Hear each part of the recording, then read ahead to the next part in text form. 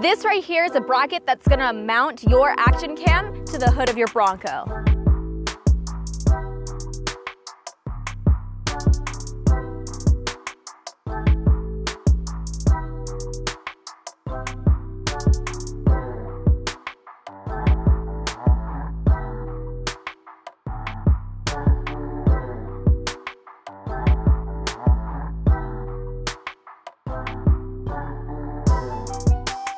This mount is great at getting the perfect shot because you can set it to all different kinds of angles with easy adjustments.